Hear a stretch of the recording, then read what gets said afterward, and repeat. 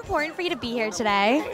I mean, I really believe in, like they says, the power of youth, right? So I very much believe in how much we can do, myself, people younger than me, to really make a difference if we believe in something. And I feel like being able to encourage that, being able to honor that is, is really huge. Is there anyone in Hollywood that you look up to or admire for their charity work? Um, I don't know much about like kind of the Hollywood scene. I'm very inspired, definitely by the people around me, by the people who, whether I've kind of gotten in touch with their charity because I was a fan of their work, or kids who are fans, or whatever it is. They're like, "Oh yeah, I'm 13, but I started this charity to really make a difference because this was on my heart." It's really, really inspirational to me. Well, I saw Jessie premiered. Yeah, I Such a cute show. How's it been going so far? It's been good. It's been really, really good. Amazing. Crazy. Absolutely crazy.